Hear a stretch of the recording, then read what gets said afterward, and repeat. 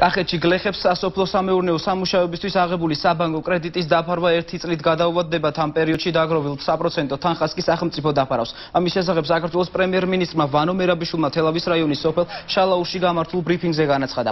მისი თქმით, თელავში ინფრასტრუქტურის აღდგენითი სამუშაოები უკვე დაწყებულია, პარალელურად გრძელდება ყველა დაზარალებული აღწერა.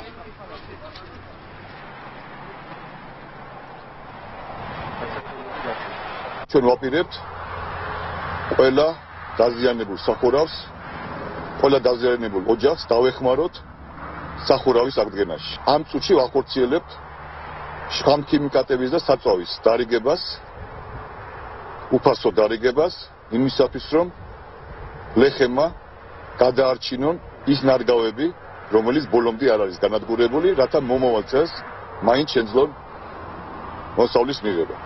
ჩვენ ბანკებთან ერთად მოვილაპარაკებთ და ერთი წლით გადავდებთ გავაგზავნებთ ამ კრედიტებს და ამ კრედიტებს არ დაერიცხება არც 1%.